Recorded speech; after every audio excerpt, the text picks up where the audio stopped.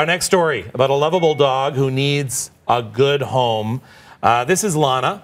Originally arrived in Toronto from a large litter in Mexico through Rescue Dogs Match. She spent time in foster homes, then was adopted.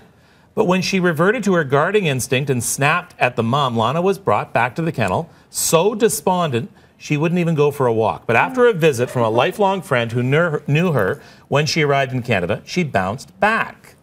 But she's still up for adoption, is my understanding, that she still needs a home.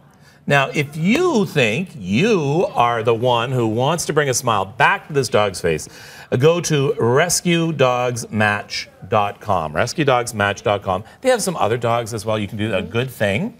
You should say, you know, getting a dog is a responsibility, Mm-hmm. of course, and you have to be prepared for the training and everything involved, especially if you heard about the kids and then maybe the dog might have snapped.